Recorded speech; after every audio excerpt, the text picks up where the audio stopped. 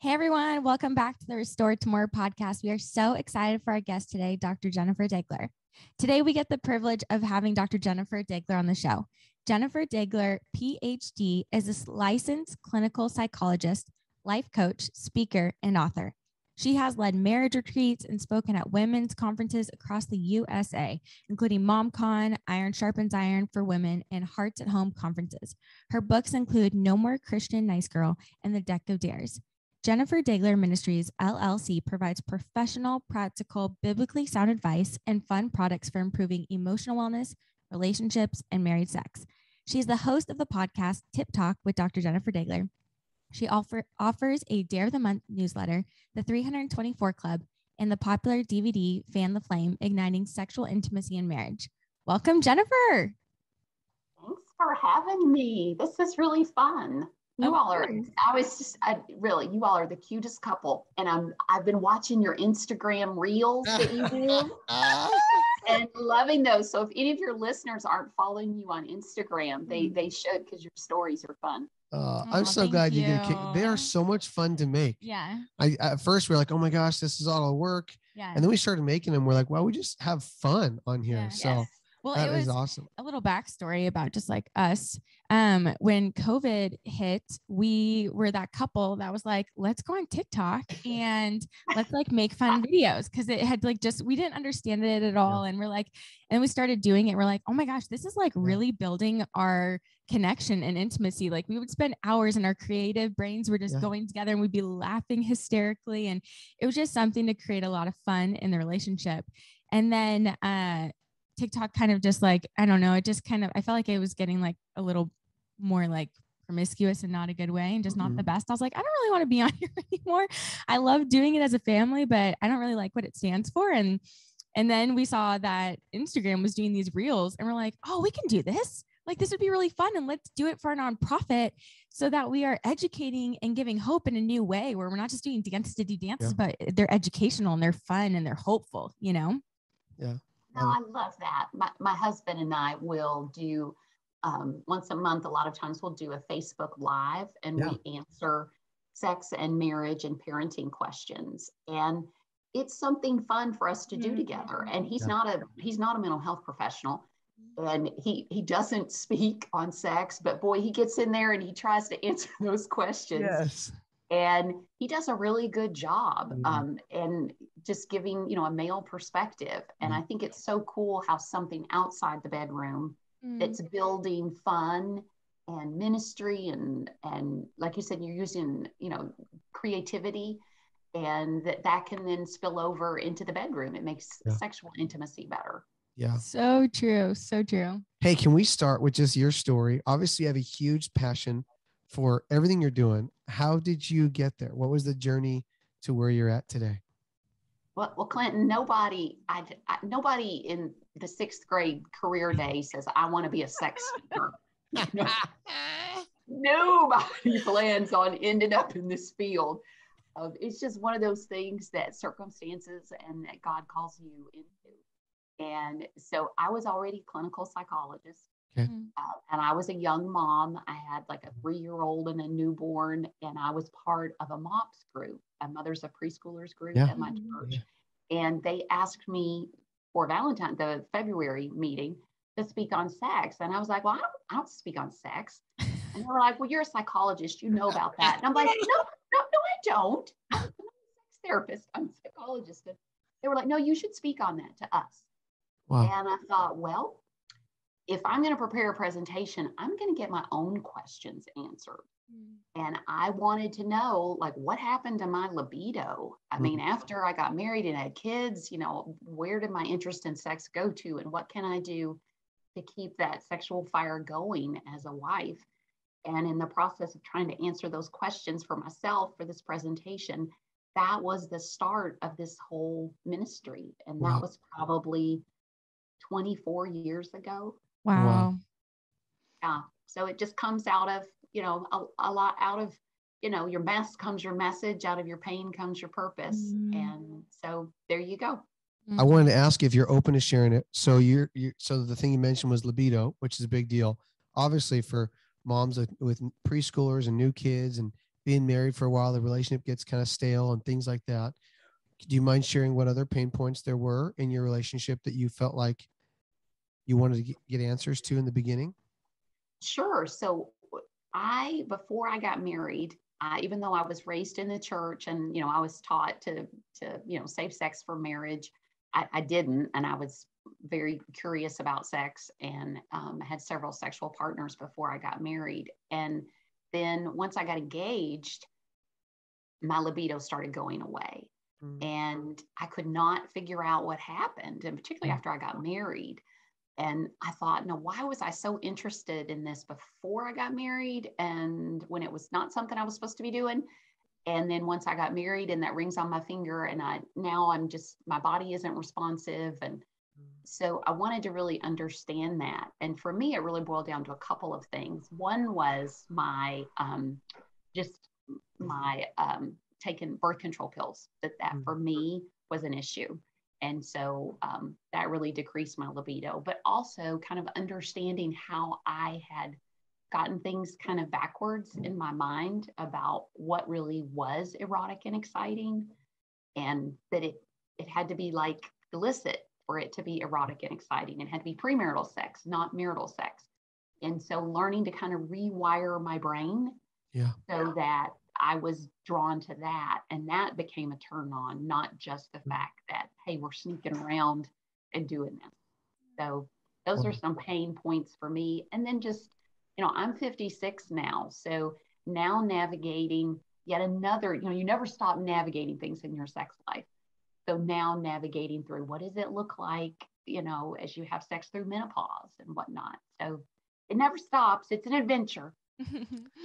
I love that. I've been um every time we've been talking about this, your body is a wonderland by what's his name? John Mayer. John yeah. Mayer has been like popping in my head. I'm like, man, like, why is he singing about it? And then we should be like having that view of our spouse, like your body is a wonderland and it's this roadmap and it's adventurous. And there's so many things that your body, you get to be curious about your spouse's body and, and understand um, just, you know, what is that? And where did that come from? And what does this say about you? And what's your history? And there's just so much to your spouse um, that I feel like can be so exciting if we rewire our, our brain that way. Wow. That's good. Renewing your thinking mm. and for um, particularly for women because we do have only a tenth of the testosterone that men do. Mm. You know, we are just not as much in drive sexually.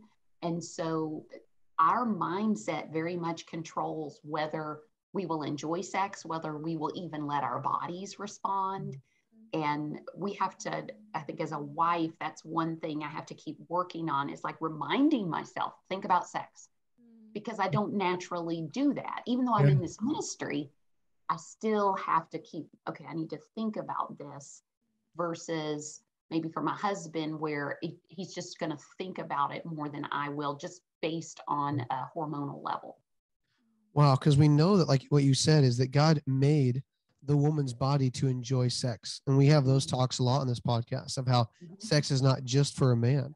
But right. what I hear you saying is that just because a body is made for sex and it's made to enjoy sex, there might be a lesser drive there.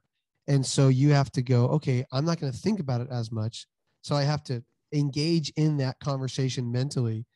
And there has to be the right headspace that allows you to enjoy sex. Is that what I hear you saying? Yes, yes. I mean, for the way I look at it after working in this field for for almost 25 years is that for women in particular, I think women have to work at something I call the sexual fire triangle.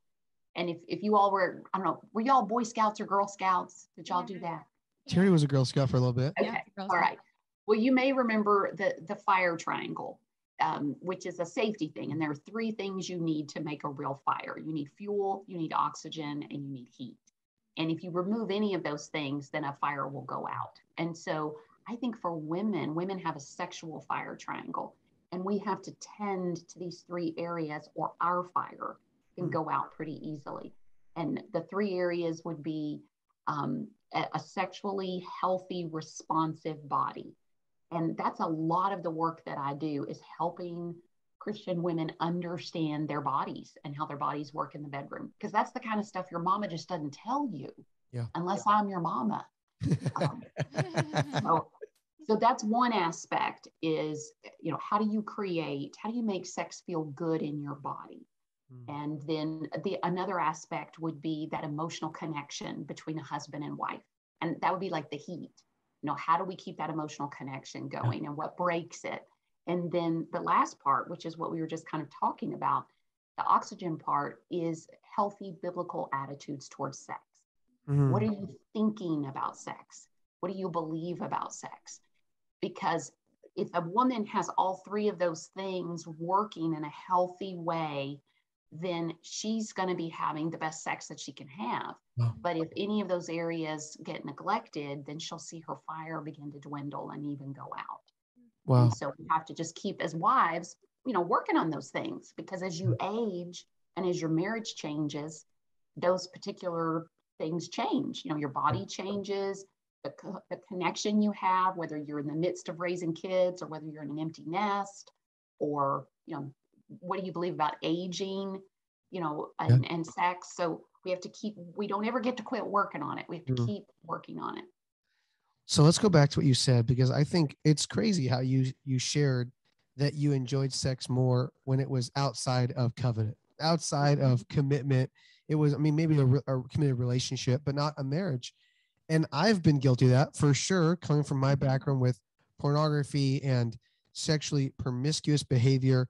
That there was such an adrenaline rush about that. There's such a dangerous part about that that can be a, a real rush. And then when you get married, it can be like, oh, well, this is just there's no there's no real danger here. We're just going and having sex in the bedroom and there's nothing that there's there's none of those attributes to it. Mm-hmm. But I had no idea that women struggle with that as well. Like I'm just like, wow, I thought it was only a guy's thing. And so I, I'm curious to find out as you have been in this field for, like you said, 25 plus years, have you seen that that is true for other women as well? Or were you a variant? Were you an, uh, an anomaly? Or is that a common thing for a wife to, for a woman to enjoy it more when it wasn't in the bond of marriage? That's a great question, Clinton. And I- think what it's about what do you, what is happening while you are experiencing sexual pleasure Mm, because those things are going to pair together. And we we uh, we have a saying in in um, the, the field of, of neuropsychology, which is that neurons that fire together wire together mm, right? So if Yeah. something is, you know, firing over here, it's like if you remember Pavlov's dog from Psych 101, where, you know, they would um, feed the dogs and a bell would ring at the same time, and the do- dogs, after a while, would salivate just when they hear the bell ring sure. because those things were paired. And so for me, pleasure, orgasm was paired with you know, being in the back seat of a car or hiding downstairs in my boyfriend's basement from his parents or whatever it was. And I think as well, just feeling like I was um, kind of rebelling in a secret way, that I kind of enjoyed that as well. And so you're right, Clint, you get married, and now all of a sudden, you don't have that adrenaline rush and that what you've paired it with sexual pleasure comes with that i'm that i'm kind of doing something in some way i think is wrong and i kind of like that i think it's wrong. And now all of a sudden okay married sex is right. Mm. so now this thing is gone. So Yeah. learning learning to and it, and it takes experience after experience after experience of good married sex fun married sex adventurous married sex to overlay like we needed new neural connections Mm, so it's not like it just happens overnight where we can just be like oh okay well now i think married sex is good and and now i'm gonna my body's gonna respond to that Mm. a lot of times it does take just experiencing and creating those new memories, those new neural connections so that your body responds. Wow. Um, and I think as well, un like unlearning, okay, why why did I need sex that way? Mm, And what place was broken in me? And what do I need to invite Jesus into? It says in Hebrews, he's able to save to the uttermost mm, some um, That's the King James. The NIV says he's able to save completely. But I love that wording. He's able to save to the uttermost. Mm. And so to me, it has this idea of those uttermost places where you don't even know why you do what you do. Mm. But you can invite Jesus into that and show me, like, what do I need to learn and unlearn and then learn so that I can um, experience sex the way you designed it to be inside of a marriage. Wow, So good.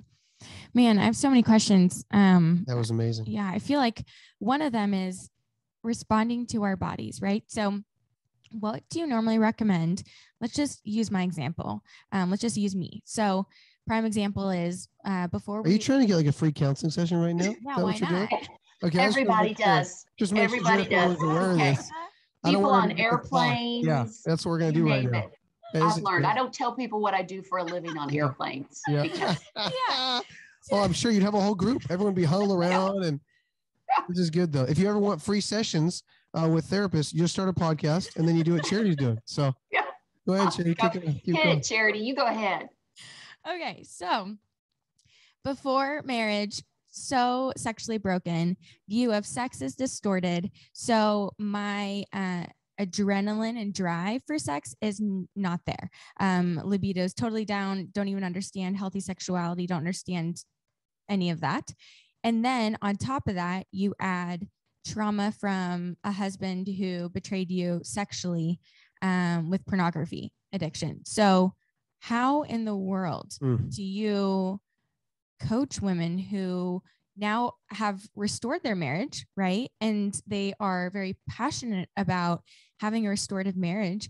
But part of that restoration is engaging in healthy sexual intimacy again. And so, what would where where do you even start with somebody who's gone through that? It's good. That's a great question. And uh, we start with them really looking at, well, where, where are you running into trouble? Mm. and whether it's in just the even the thinking about it it in that do you just shut down at that point you, you can't even think about it without being feeling revolted or turned off is it that you can begin to like kiss but then at some point images are intruding Yeah. and then that's turning you off is there a certain uh, way you may be touching one another or certain sexual activity and that's when the intrusive thoughts come or when your body begins to shift and so a lot of times what happens is we don't do a good assessment Mm. of where are my trouble spots we're just like you've ruined it you've ruined sex for us it's over and I, I just don't even want to do it anymore. Let's Oh. just get it. We'll just live like roommates and raise our kids together. Yeah. And because we, we tend to get kind of this black and white thinking, all or nothing thinking of it's just all ruined. Mhm. When really it's it's not all ruined. So a good assessment, and this is where, you know, working with a, a counselor or working with a, a coach or whoever it might be to help you understand where where where does it where really are the problem spots for you? And then that helps us come up with an intervention. And um, you know looking at the fire triangle usually it, like you may have all three things going on. Of course the emotional intimacy has been broken the but you know by the betrayal so we need to do some work on in build how do we build emotional intimacy and trust in that maybe we'll also do some work um, in thinking, like thinking all or nothing thoughts, like our sex life is ruined forever and it will never get better. I couldn't, I cannot even imagine that I could ever have sex and not be thinking you're thinking about pornography. Yeah. When in fact, yes, you can. You know, Mm. if you do the work, you can get to a point where that I'm not saying it would never intrude, but that it very, it can very rarely intrude. And then as well, let's look at your body, what's going on with your body and how your body is responding. Because we do know that for women in particular, your body can armor up Mm. if you don't feel emotionally safe and you you can have more sexual pain from sexual activity because you're you're literally you don't rec- you're not consciously saying i'm going to tighten up and Mm. armor up, but your body doesn't feel safe. And so there are different things that we can do. So, yeah, I would say that's where it starts, charity. And just the fact that you're even willing to ask that question is wonderful because that says, I would like to see this Mm. change. Yeah. Yeah. So good. That's great. Yeah, I feel like it's really for me, our relationship. Let's just, you know, why not just share it? Just keep I've going. gone there. Just so keep going. yeah. Um, I think for our relationship, after we established safety in the relationship, right, we worked on a lot of recovery, um, have had to rewire our brain on God's view of sex, why He even created us as sexual beings, right? There's been a lot of education and a lot of healing and a lot of praying over our bedroom, inviting God into the bedroom, safety with His sobriety, of course, things like that. Um, I feel like it's gone in stages, like where I finally now enjoy sex. But personally, where I'm at is I feel like my drive, I don't, I don't, I just don't even know if I've even ever had a drive. I feel like I'm forcing myself Mm. to tell myself that I have a drive. And it's actually been quite funny. We've been reading a um a marriage book called Married Sex. And it's a great book. And we've been reading it. And every time after we read it, I'm like, then I, I feel like I'm like, ooh, like we should have sex, Yeah. you know? So we're gonna Uh, keep reading this book forever. Yes. We're just I'm never gonna change books. We're gonna read this book till I die. It's gonna be great. But I feel like that book has helped in a way, I guess, for me. Well, I would just Um, ask that question. Why why do you think that is? Why is it that when we read a book about sex and it's a biblical based book, so we're doing the triangle, we're emotionally connecting, you know, maybe we're sitting close together, so there's physical connection there. And then like there's the spiritual right thinking. good. Mhm. Why would that initiate a desire in charity to want to make love? Because you're seeing that the most powerful sexual organ you have in your body is your brain. Wow. And when you have, if you have, when you have less testosterone and you're more estrogen, women have more estrogen, then the brain becomes even more important. Wow. Because when you when you have more estrogen, it just it makes you it makes you more susceptible to distraction. Mm. Um, you know, probably I, I don't know if you guys have experienced this, but like Clinton, you know, you you all could be into it and you're thinking, oh man, Charity's really into it. This is going great. And all of a sudden she's like, we need to paint the ceiling. Yeah. Look at that. Look up. Did you see that? And you're like, what? the- What? Yeah. Why are you looking at the water spots on the ceiling? Yes. Whereas for when when testosterone is in drive, I mean the house could be falling down. Mhm. And you know, the kids are knocking on the door, and you know, Charity's like, Do you hear the kids? He's like, Do we have kids? I don't Yeah. remember. Yep. You know, and Remember. yeah, so some of I this can I can about- see your 25 years of experience right there. It's like you know, it's like you read read us like last week's paper. That was there good. you go there you go and so recognizing okay that, that it makes a difference and the, and so with that estrogen making you more prone to to distraction and just having more of like you're just not naturally thinking about sex all the time but you're reading a book together Wow. which that is one of my most common recommendations for couples is get a get a christian sex book and then sit in bed and read it together Hmm. and it's amazing i mean you can have great discussion you're building emotional connection you're working on the whole attitude thing and then because it's like reminding a woman's body hey Mhm. think about sex. And so then all of a sudden we start getting some you know some blood flow to the genitals. We start getting some hormones flowing. And then before you know it she's like well you know what? I, now that i kind of think about it maybe i would like to have sex.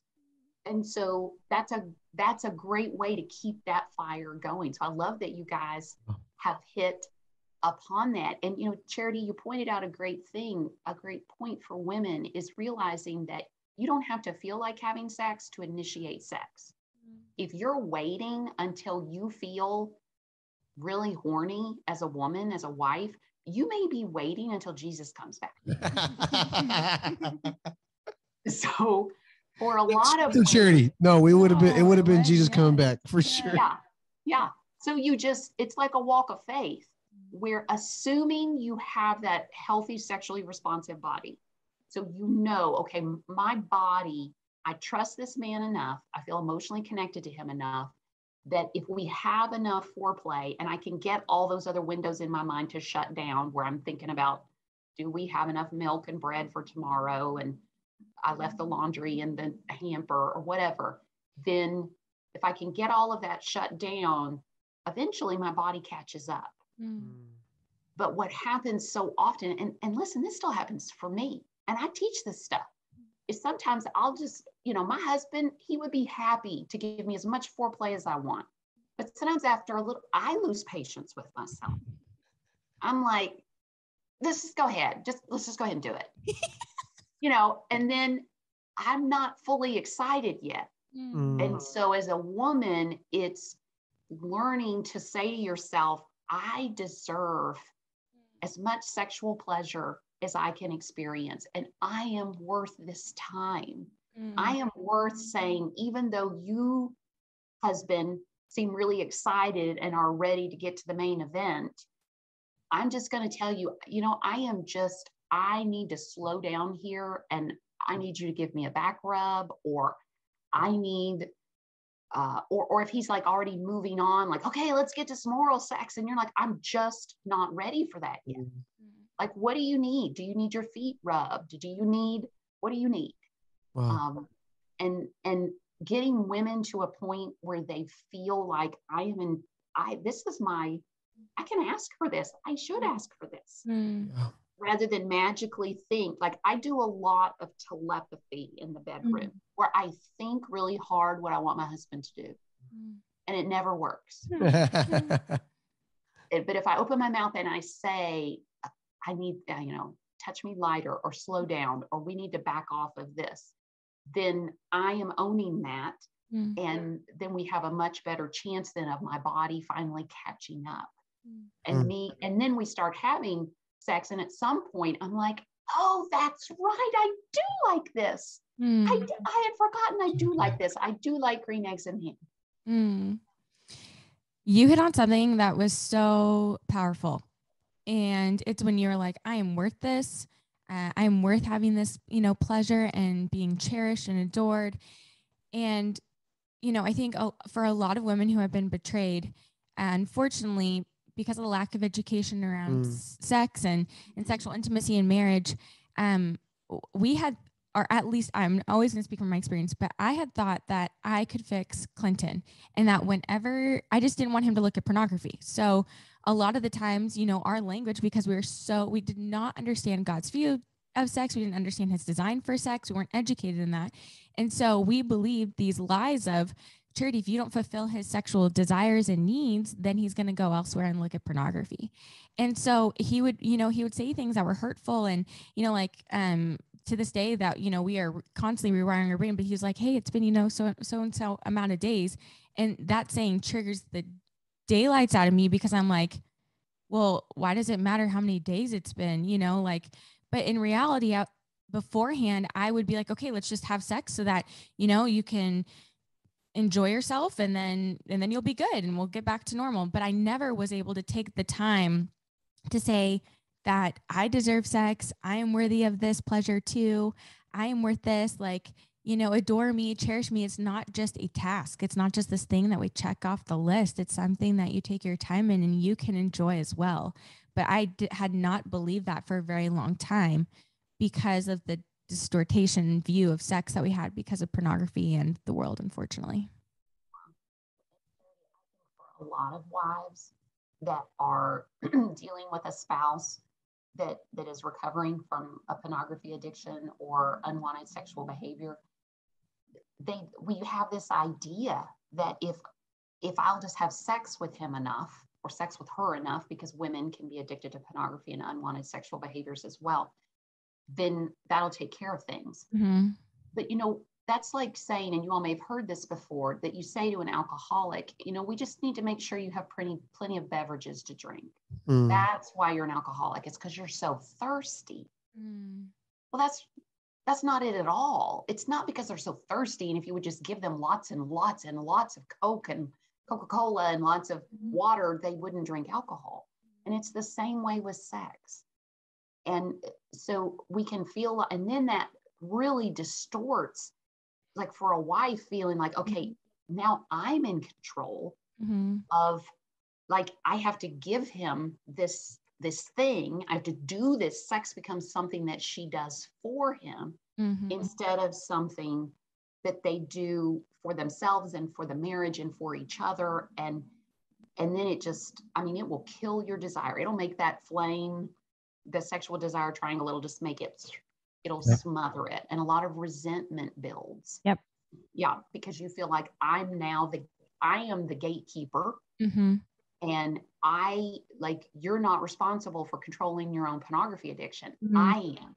I Mm. have to say, let's have sex so you don't look at porn. Mm. And and that is just a recipe for a lot of unhappiness on both parts. Well, and then I'm not listening to my body either, right? Like I'm not Right. I'm not in tune with my body. I'm not in tune with, yeah, well, I want to have sex too. It's just, okay, well, it's just, it's all about him. And Right. so realizing that, like, oh, like my body can respond too. And God Mhm. created me with a design for sex and God created me with a desire and I should enjoy it too. Like I had no idea any of that stuff. Like when we were on the journey of recovery, that was one of the most mind-blowing educational stuff that I had learned. I was like, Clint, did you know that God wired me too? And I actually have like I, I can't remember. You probably know how many nerve endings we have, you know, that go off in our like in our vagina. And um, I was like, oh my gosh, that's crazy. And you only have like a couple. Like, God designed me too.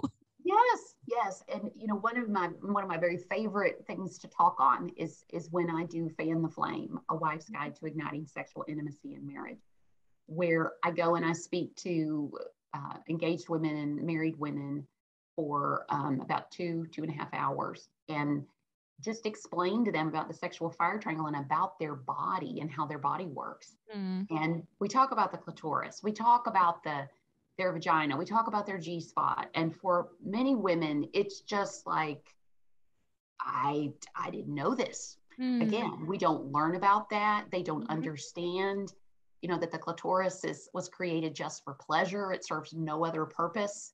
You know a, a penis is a is a multi-purpose tool. Um, it is created for pleasure but it's also created you know for urination for procreation for writing your name in the snow serves a lot of purposes. Oh yeah. um, but not so for the clitoris. And so mm, women understanding that and how incredible th- our design is um, can i think that can help women understand that god did create sex for them to experience pleasure too. And it's not just about him. Wow. and um, and this is a journey. And so it's exciting charity to hear you talking about how you're still working on this you're still learning that's so great mm. So much to learn.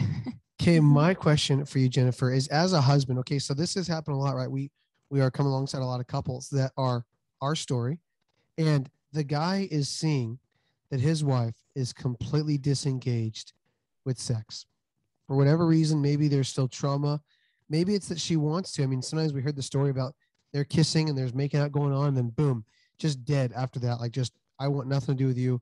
If you even push on anything more than this, um, I'm going to get angry and blow up and all that kind of stuff. And Mhm. so, my question to you is: is what you said is absolutely beautiful, so lovely, and so perfect.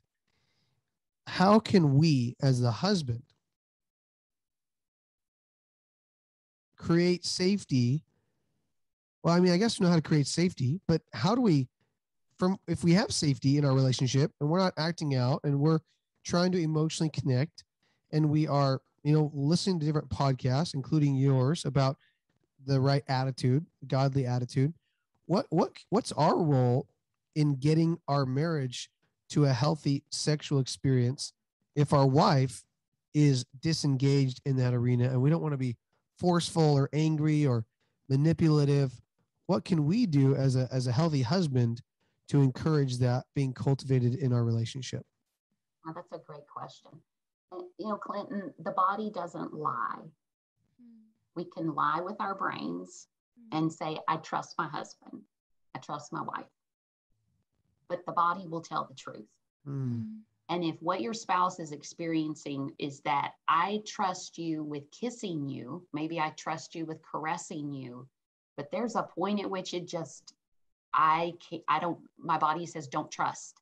Wow And and it all shuts down. And I think that's what you're describing. yeah yeah and the frustration you feel as the um, offending spouse that you're doing everything you can and yet your your spouse gets stuck at this one point. point and so patience is required this process um, takes so much longer than people think it will um, and you know in in terms of doing work with infidelity like couples counseling work as couples work through infidelity um, it usually takes on average two to five years for a couple to recover from an affair. And that is assuming they are working, working, working at it. Mm-hmm. Yep. Two to five years. Yeah. That is a long time.